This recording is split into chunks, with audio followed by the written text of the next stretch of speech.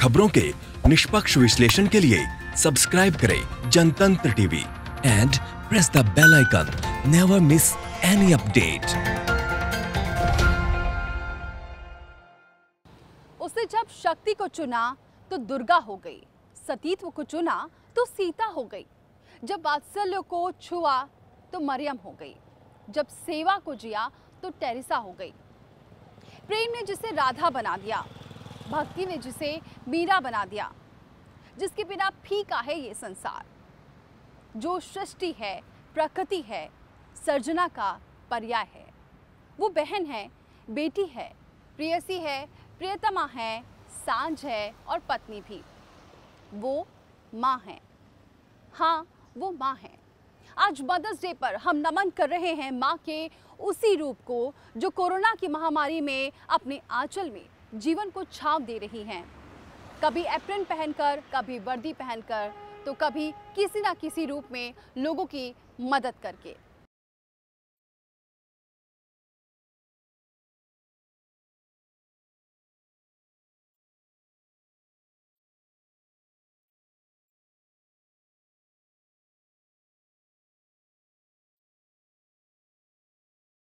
Lockdown में जहाँ दुनिया थमी सी है, जहाँ रुका सा आसमान है, धरती पर मौत मंडरा रही है।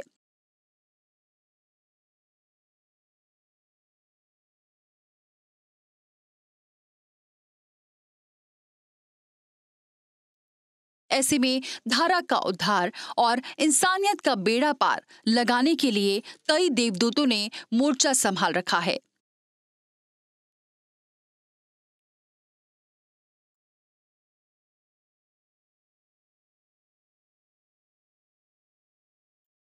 संकट पूरी आबादी के सिर पर मंडरा रही है। ऐसे में आधी आबादी से माओ ने कमर कस ली है।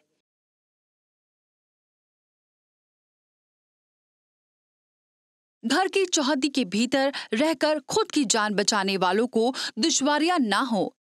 इसके लिए कई श्रितमाओं ने सिर पर कफन बाँध लिया है। माओ ने मोर्चा संभाल लिया है कि अब घर दीवारों के भीतर नहीं रहा। वसुदेव कुटुंबकम हो गया है। वो दिन कब के लग चुके हैं, जब चूल्हे चौके में ही चार दिन की ज़िंदगी धुआँ हो जाया करती थी।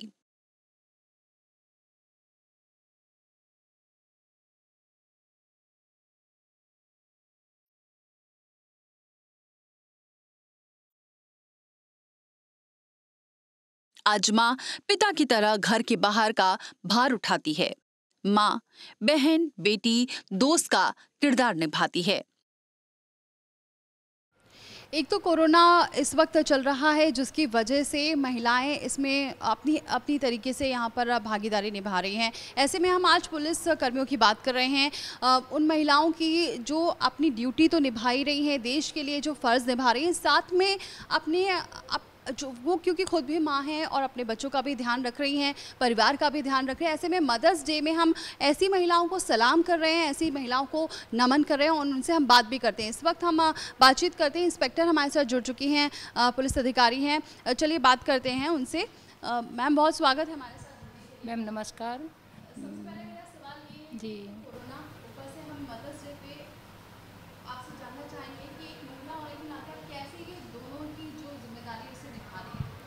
देखो, मैं एक समाज में बहुत नज़दीकी से काम कर रही हूँ। आप जैसी बहनों के साथ में कोई माँ भी है, कोई बहन भी है, कोई बेटी भी है, उसके साथ साथ मैं भी किसी की माँ हूँ, मेरे पास भी दो बच्चे हैं, जो जुड़वा है, जो भी छोटे हैं। और मैं समझती हूँ, जैसे मेरे बच्चे हैं, मैं भी किसी की माँ हूँ, बहन हूँ, बेटी हूँ, उसी तरह से एक परिवार को, जैसे मेरा अपना परिवार है, ये समाज में मेरा एक परिवार है।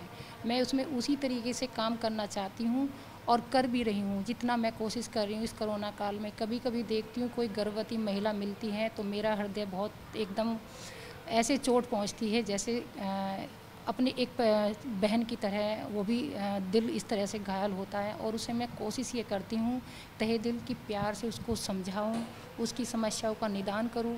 दवाई तो मेरे पास नहीं है, पर जो मीठे बोल दो हैं जो उनको एकदम संतुष्ट कर सकते हैं। उन शब्दों का इस्तेमाल करके मैं सोचती हूँ कि उनकी समस्याओं का कम ज़्यादा नहीं तो थोड़ा सा तो निदान कर सकूँ मौके पे खड़ा होकर के।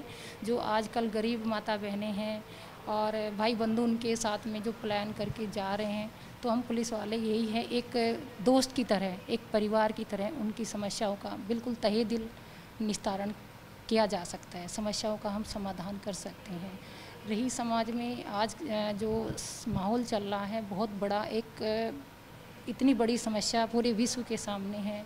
वो चाहे उसमें हम भी हैं, आप भी हैं, कि हम सब लोग मिल कर के इस कोरोना वाली समस्या का मिल के सामना करें और जो गरीब लोग हैं और गरीबी से जूझ रहे हैं और अपने परिवार में जाना चाहते हैं, उनको सहयोग दें। और मैं एक माँ होने के साथ साथ ये चाहती हूँ कि सबके बच्चे बहुत प्यार से रहे और सुरक्षित रहे। देश खतरे में है। संकट काल है तो खाकी ओढ़ कर माए पुलिसिंग का जिम्मा भी संभाल रही हैं। धूप हो या बारिश आंधी या तूफ़ान और ओले भी इनके हौसले को डिगा नहीं पाते। चलिए हम कुछ हमारे साथ पुलिस अधिकारी भी हैं और उनसे और भी हैं। पुलिस उनसे भी ये पूछेंगे कि वो अपने मदर मदर को क्या मैसेज देना चाहेंगे? सबसे पहले आप यहाँ पे काम करते हो आपके बच्चे कहाँ पर हैं? बच्चे तो मेरा जयपुर में है एक डॉक्टर हैं वो। वो सात महीने से जयपुर में ही है। यहाँ तो है नहीं लड़का हुआ है देखा भी नहीं है मेरे बच्चे। अच्छा, कि मेरा कितना दुख दुख तो है? ही है लेकिन फ़र्ज़ के आगे कुछ दुख नहीं है। कुछ दुख नहीं है ये गम कुछ नहीं है। नहीं। कभी लगता है कि हाँ जाए मिलने और लगता तो है लेकिन ये फ़र्ज़ के आगे कुछ नहीं है। डर लगता है कि डर नहीं लगता है। घर से बाहर की ज़िम्मेदारी निभाने निकली। इन माओ का जीवन जितना मुश्किल दिखता है, ये कठिन उससे कहीं ज़्यादा है खास तौर पर कोरोना काल में। ऐसे में जबकि देश लॉकडाउन है, इनकी ड्यूटी लगातार जारी है। जब हम अपने घरों में, अपने परिवार के साथ एसी में बैठे होते हैं, तब इन माओ को अपना फ़र्ज़ निभाने आना होता है अपना घर, अपना परिवार पीछे छोड़कर। मैं अपनी मम्मा से पाँच छः महीने से नहीं मिली हूँ। हाँ जी। लगता है कि जल्दी से मिल क्योंकि माँ की हाँ अगर सब कुछ ठीक हो जाता है तो जल्दी मिल जाएँगे बस। इसी की कोशिश है सभी पुलिस वालों की और सभी स्वास्थ्य कर्मियों की और सफ़ाई कर्मियों की। सभी इसमें लगे हुए हैं और मीडिया कर्मियों का भी बहुत सपोर्ट है। अब क्या कहना चाहूँगी आप? अपनी को कोई मैसेज देना चाहेंगी? नहीं मम्मी से तो बात होती रहती है। फ़ोन पे ऐसी कोई बात नहीं है। मेरी मम्मी खुद कहती हैं कि तुम भी अपनी ड्यूटी पे रहो और आराम से करो।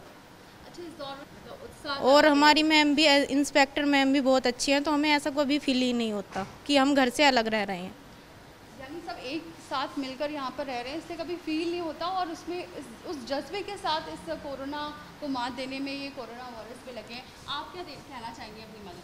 हाँ मम्मी इसके लिए तो बस बहुत कुछ कहना चाहते हैं। वैसे फ़ोन पे बात होती रहती है और सबसे बड़ी माँ तो हमारी यहीं पे मौजूद हैं।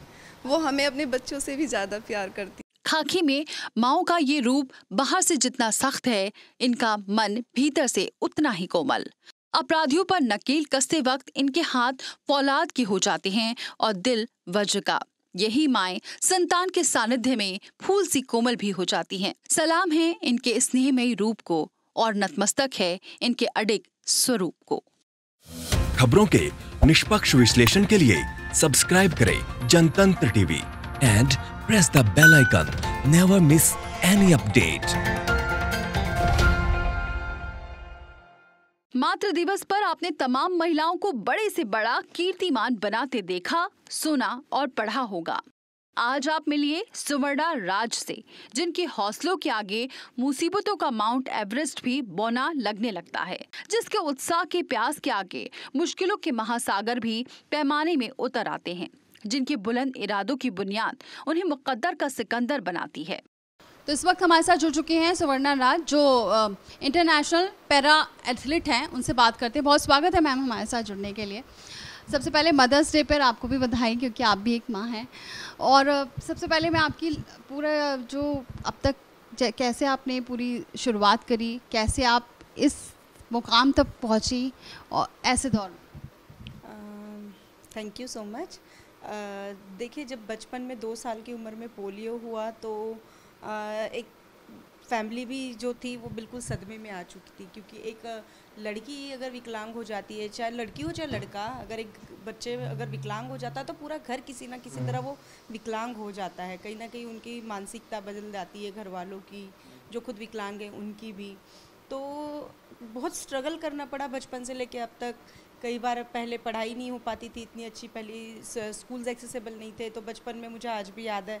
मुझे हॉस्टल में रह रहे के ज़िंदगी अपना टेंथ तक का सफ़र पूरा करना पड़ा ताकि कौन ले जाए कौन लाए तो हॉस्टल में वो सब कुछ एक ही जगह हो जाता था।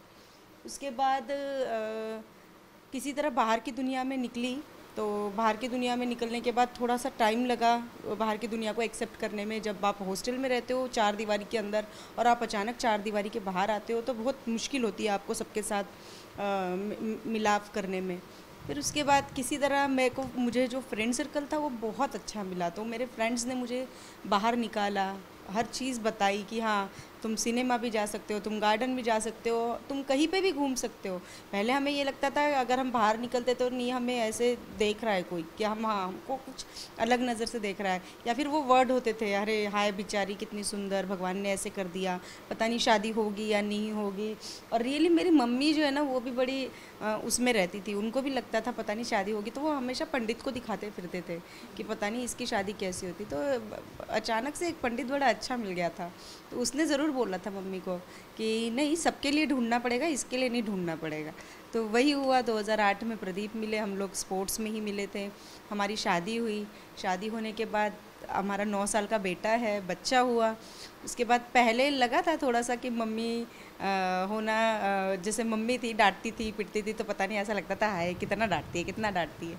लेकिन आज हम मम्मी बने तो हमें पता है कि डांटना पड़ता है, चाहे कुछ भी हो। अगर अच्छे संस्कार लाने हैं, अच्छे अच्छी शिक्षा उनको देनी है तो। सुवर्ण राज की चिंताएँ भले ही आपको सामान्य लगे, भले ही आपको ये मामूली लगे, लेकिन क्या होगा आपका नज़रिया जब आपको पता चले कि सुवर्णा के दोनों पैर काम नहीं करते? क्या कहेंगे ये जानकर कि सुवर्णा के पैरों में पोलियो है। भले ही पोलियो ने उनके पैर छीन लिए हों, लेकिन उनके हौसलों के परवास के सामने आसमान छोटा पड़ जाता है। सुवर्णा अपने नाम की तरह ही अपने सपनों पर राज करती हैं। मैं स्पोर्ट्स में बचपन से ही हूँ, मैं हॉस्टल लाइफ से ही फिफ्थ या सिक्स में थी, तब से स्पोर्ट्स खेल रही हूँ, नेशनल लेवल के एथलीट तब से रह चुकी हूँ। इंटरनेशनल लेवल पे मैंने शादी के बाद स्टार्ट किया है खेलना। और स्पोर्ट्स में स्पोर्ट्स ने ही मुझे नाम दिया है, मुझे एक अपनी पहचान दी है। और आज भी याद है कि मैं हॉस्टल लाइफ में भी मुझे सब लोग बोलते थे कि हर गुण में, हर चीज़ में ये है। मैं सिंगिंग में भी आगे होती थी, मैं डांसिंग में भी आगे होती थी, मैं स्पोर्ट्स में सबसे आगे होती थी। तो ये चीज़ें चलती रही मेरे लाइफ में और इन सब चीज़ों से मुझे आज ही मुकाम हासिल हुआ है। देखिए मेरे पास एक एग्ज़ाम्पल है जो बचपन से हम सुनते आ रहे हैं। उस एग्ज़ाम्पल में चिड़िया जो होती है चिड़िया का घोंसला अगर किसी ने देखा होगा तो वो घोंसला हम एक मशीन भी बनाए ना तब भी नहीं बन पाएगा। हम अपनी दस उंगली भी यूज़ करें तब भी नहीं बन पाएगा। और वो घोंसला सिर्फ़ अपनी चोच से बनाती है। तो वो चोच वो इतना प्यारा घोंसला होता है तो वो एक, एक कविता भी है इसके ऊपर मराठी में है वो। तो उसमें लिखा गया है कि उसकी सिर्फ़ इतनी चीज़ चोच से अगर वो इतना प्यारा आशियाना बना लेती है तो हमारे पास तो दोनों हाथ, दस उंगली, दो पैर और इतना अच्छा दिमाग दिया है। तो मुझे लगता है कि नथिंग इज़ इम्पॉसिबल मतलब हर चीज़ वो है जो हम कर सकते हैं। बस वो हमारी मैंटेलिटी पे डिपेंड करता है कि हम क्या करना चाहते हैं और हम क्या करना नहीं चाहते। तो चाहे फिर परिस्थिति कैसी भी हो, चाहे आप फिज़िकली चैलेंज हो या नहीं हो, देखो, कहीं ना कहीं हो जाता है ना कि वो व्हील चेयर पे है। अरे हाँ ठीक है, हम व्हील चेयर पे हैं, लेकिन आप हमारे लिए स्टेप की जगह रैम्प बना दोगे तो हमको तो विकलांगता का एहसास ही नहीं होगा। है ना? तो कहीं ना कहीं इन्वायरमेंट जो है, वो हमें विकलांग बनाता है, ना कि हमारी विकलांगता हमें विकलांग बनाती है। Para athlete Suvarna Raj lockdown के दौरान भी घर में बेहद एक्टिव रहती हैं। यही उनके 9 साल के बेटे को भी अपनी माँ पर गर्व करने का सबब बनता है। उसके लिए उसकी माँ ही उसका आदर्श है। सुवर्णा में मुश्किलों के आगे सरेंडर तो कभी किया ही नहीं। कठिनाइयों की आँख से आँख मिलाकर अपने लक्ष्य को हासिल करके ही दम लेना सुवर्णा को फौलाद बनाता है। मैंने कहा ना कि बचपन की लाइफ और आज की लाइफ में ज़मीन आसमान का फ़र्क है। घर में कभी शादी से पहले अ, कुछ मैंने चीज़ें सही भी है। जैसे पापा जो है उनको लगता था वो थोड़ा पसंद नहीं करते थे। और फिर मम्मी को भी लगता था कि ये मतलब मैं विकलांग थी एक तरह से बाकी भाई बहन सब अच्छे थे। तो उनको या तो उन उनको पसंद ना होने का तरी जो मतलब वो था शायद उनका जो रवैया था सोचने का वो यही था कि ये विकलांग है शायद मैं पता नहीं इसकी शादी भी कर पाऊँगा या आगे बढ़ भी पाएगी या नहीं। हो सकता है वो हर माँ बाप के जहन में आता हो। लेकिन मुझे लगता है कि ये चीज़ कहीं ना कहीं बच्चों के मन में निगेटिविटी भी फैला देती है। हर कोई हर कोई उन चीज़ों को उभर के नहीं आ सकता। कोई कोई डाउन भी हो जाते हैं, कोई कोई मोरल सपोर्ट लेके आगे भी हो जाता है। शायद मैंने उसी चीज़ को अच्छा समझा हो कि नहीं, मैं पापा को कुछ अच्छा करके दिखाऊँगी। लेकिन ज़रूरी नहीं है कि हर एक बच्चा ये करके दिखाए। उसके घर में उसको पहले से प्यार मिलना बहुत ज़रूरी है। मम्मी ने काफ़ी सपोर्ट दिया मुझे कई ना कई कई बार सपोर्ट दिया है। मेरे घर में मेरी मम्मी और मेरी भाभी सबसे ज़्यादा तो मैं अपनी भाभी को जा, जा वो करती हूँ। उन्होंने मुझे सबसे ज़्यादा सपोर्ट भी इसलिए दिया है कि उन्होंने भी मुझे कभी ये नहीं लगने दिया। एक भाभी आने के बाद मुझे ऐसा लगा ही नहीं कि हाँ मैं कहीं ना कहीं अलग हूँ। उन्होंने मेरी पढ़ाई कभी छूटने नहीं दी बीच में। और हर चीज़ उन्होंने कंटिन्यू होती रही। तो मम्मी और भाभी का बहुत सपोर्ट है मेरे दिल में। मुश्किलों से सुवर्णा का नाता बहुत पुराना रहा है। पोलियो तो है ही, लेकिन सुवर्णा राज ने हिम्मत नहीं हारी। ऐसे हालात में जबकि सामान्य लोग कठिनाइयों के आगे घुटने टेक देते हैं, सुवर्णा ने आत्मबल के बूते कठिनाइयों के पैर ही उखाड़ दिए।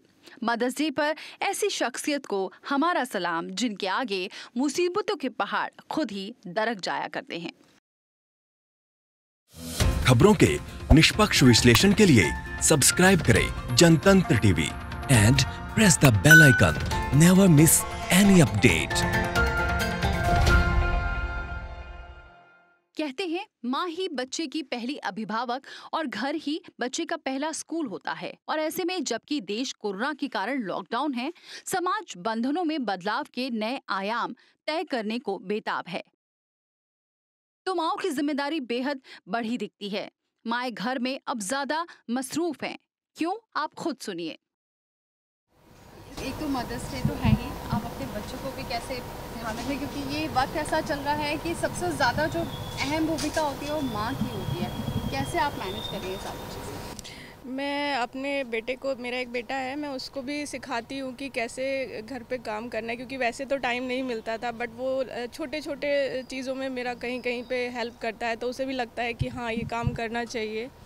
और घर पे काम ऐसे बच्चे समझते नहीं हैं। जब स्कूल जाते हैं कि क्या होता है तो वो समझता है कि हाँ ठीक है काम तो बहुत होता है और वो छोटे छोटे टॉपिक में मेरी हेल्प करता है।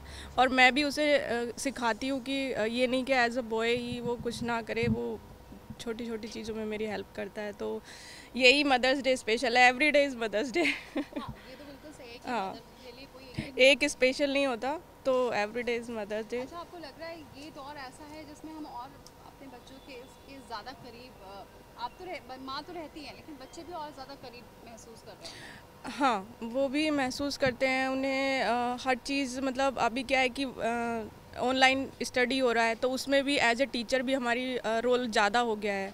वैसे क्या होता था कि हम होमवर्क करा रहे हैं अभी क्या है कि अभी हम ऑनलाइन क्लासेस में भी उनकी हेल्प करते हैं फिर वो सारा जो वर्क होता है वो भी कराते हैं। एंड काफ़ी चीज़ें ऐसी छोटी छोटी है जो ज़्यादा पास ले आती है। जैसे अभी क्या है कि आउटडोर एक्टिविटी भी नहीं हो रही है तो इंडोर एक्टिविटीज़ हो रही हैं गेम्स हैं छोटे छोटे जो गेम्स हम अपने बचपन में खेलते थे अब हम उनको करा रहे हैं। तो वो चीज़ थोड़ा थोड़ा लौट रहा है।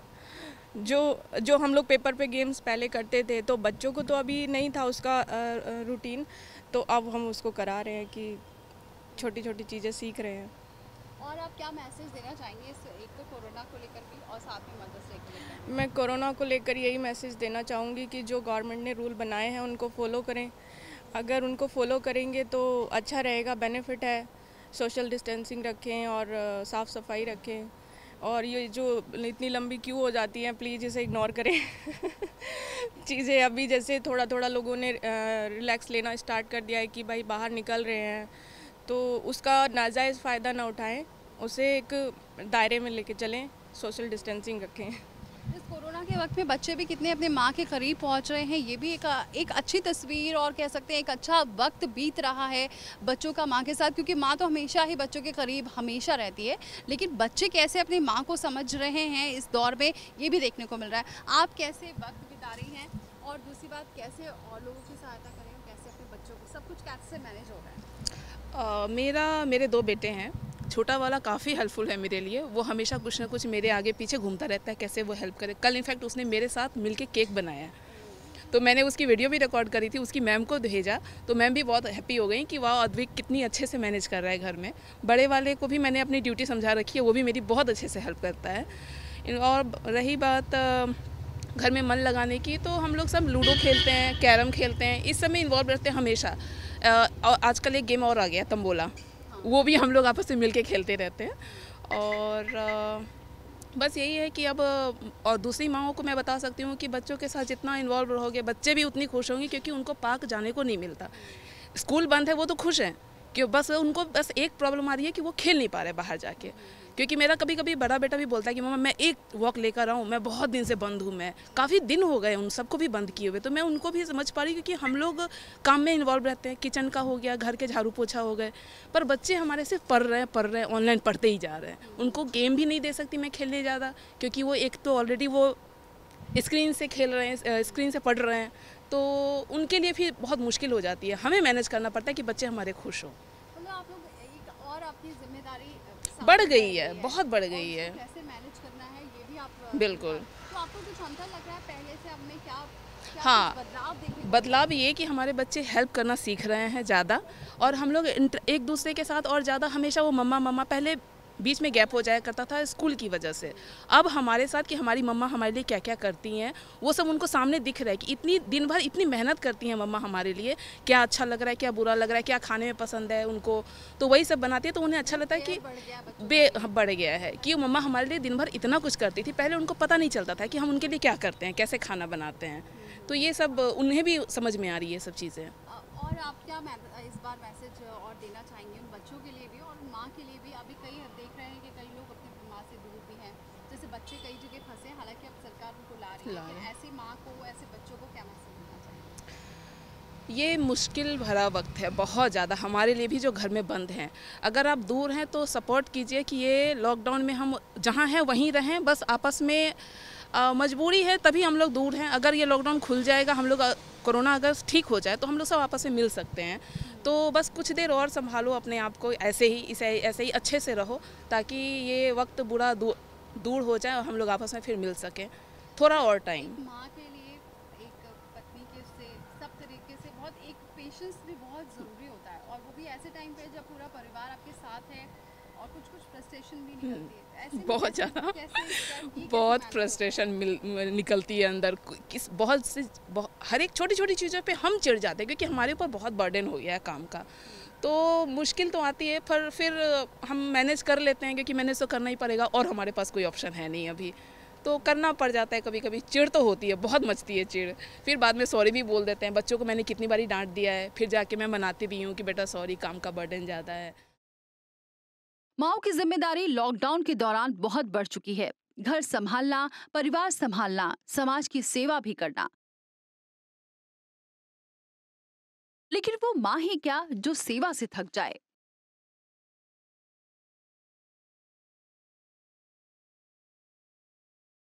प्यार करना कोई तुमसे सीखे, प्यार कराना कोई तुमसे सीखे, तुम ममता की मूर्त हो।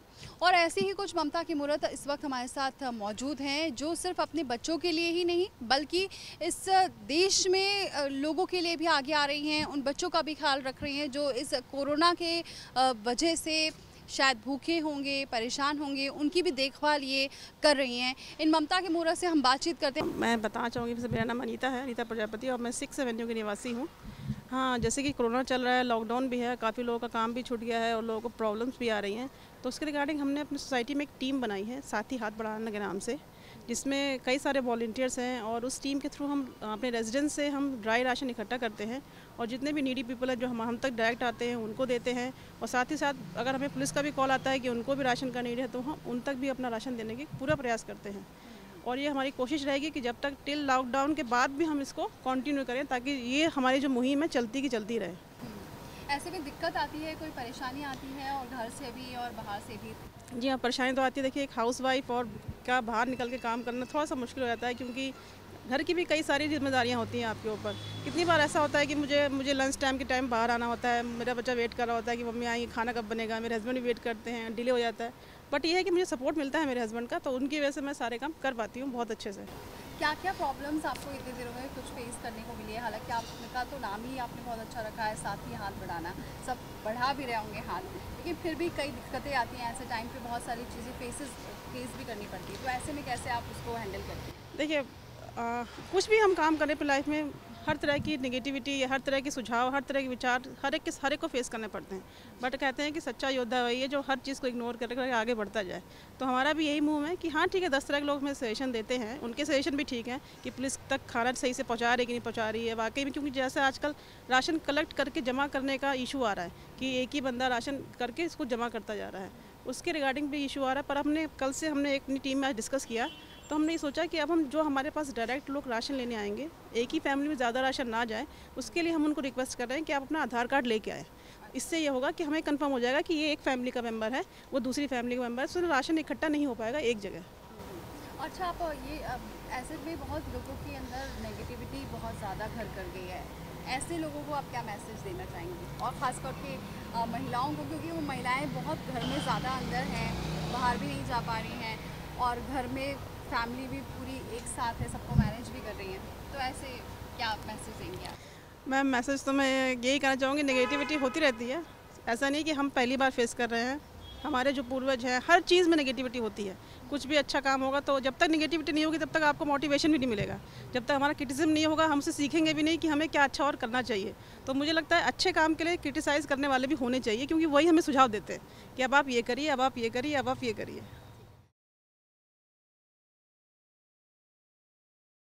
माओ को ईश्वर का अवतार यूँ ही नहीं कहा जाता। कोरोना की इस विपदा में माए एप्रन पहनकर हॉस्पिटल्स में फ्रंट पर रहकर महामारी से मुकाबला कर रही हैं। मानवता की सेवा कर रही हैं, वो भी अपने कलेजे पर पत्थर रखकर। क्योंकि कोरोना के खिलाफ जंग में हथियार उठाए तो फिर घर से घर वालों से इनका संपर्क रह ही नहीं पाता। मदर्स डे पे बहुत सारा कंग्रेचुलेशन करना चाहती हूँ और सारी मदर्स को हम भी, हम हम भी मदर हैं और अपने बच्चों से मिल नहीं पा रहे हैं और हम हम सारी माताओं को, सारी बहनों को और अपने स्टाफ को और सारे डॉक्टर्स को बहुत बहुत धन्यवाद करते हैं कि वो यहाँ रह के दो ढाई महीने से यहाँ पे काम कर रहे हैं और सारी पेशेंट्स संभाल रहे हैं और सारा अस्पताल संभाल रहे हैं, अपने बच्चों से बात भी नहीं कर पाते और ढाई ढाई महीने से घर भी नहीं जा पा रहे, केवल फ़ोन पे बात करते हैं और मैं उनका बहुत बहुत आभारी हूँ और मैं उनसे बहुत बहुत प्रेरित भी हूँ कि उनको देख देख के मुझे भी लगता है कि मैं अपने बच्चों से फ़ोन पे ही बात कर लेती हूँ। मुझे लगता है कि चलो ठीक है। और यहाँ मैं सेवा भी कर कर रही हूँ, साथ में अपने बच्चों पर भी फ़ोन पे ही बात कर पा रही हूँ और सारी माताओं को बहुत सारा मदद देता, बहुत बहुत बधाई है। कालखंड कोई भी रहा हो, युग कोई भी हुआ हो, इतिहास कभी कभी लिखा गया हो। माओ के आंचल ने ही उसे छाया दी उसके इरादों ने ही पुरंदर दिए, माँ की कोक ने ही सिकंदर पैदा किए। कालिदास ने कीट्स तक, हनुमान से हरिकुलस तक, सतयुग, त्रेता या द्वापर और अब कलयुग।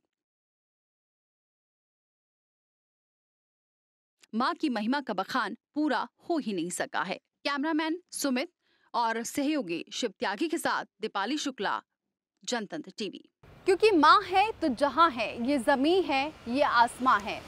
माँ शब्द की समय, परिभाषा और उसकी अनंत महिमा को आज तक कोई शब्दों में पिरो ही नहीं पाया। महाभारत सरिका, महाकाव्य लिखने वाले महर्षि वेद व्यास ने माँ की महिमा का बखान कुछ इस तरह किया है। नास्ति मातृ समा छाया, नास्ति मात्र समा गति है।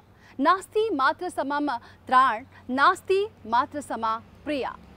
अर्थात, माता के समान कोई छाया नहीं, माता के समान कोई सहारा नहीं, माता के समान कोई रक्षक नहीं, और माता के समान कोई प्रिय नहीं।